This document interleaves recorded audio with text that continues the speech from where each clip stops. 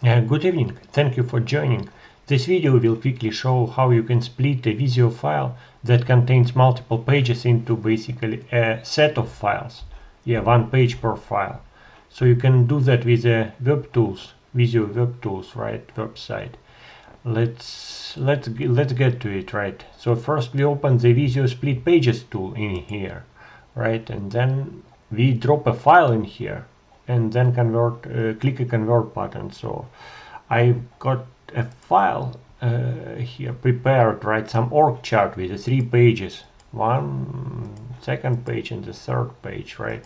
So I will just drop that one into into the tool right? I will open a picker in here and we'll just select that file to convert. This is the one.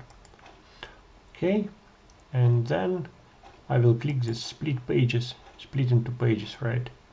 The tool will run, run, run, run, and boom, our all org chart file is split actually, and you can just open it. So here inside the zip archive, right, you get actually you have three separate files, one per, one respectively per page in the original file. That's it yeah. And uh, yeah in the latest version like uh, have to mention that right? In the latest version we support also WebAssembly that means your files are not really sent anywhere. They are processed directly in the browser uh, on your computer. They are not sent to the internet or shared with anybody yeah? Uh, that is like when you click the split pages uh, all the operations are performed right here in this window on your local machine.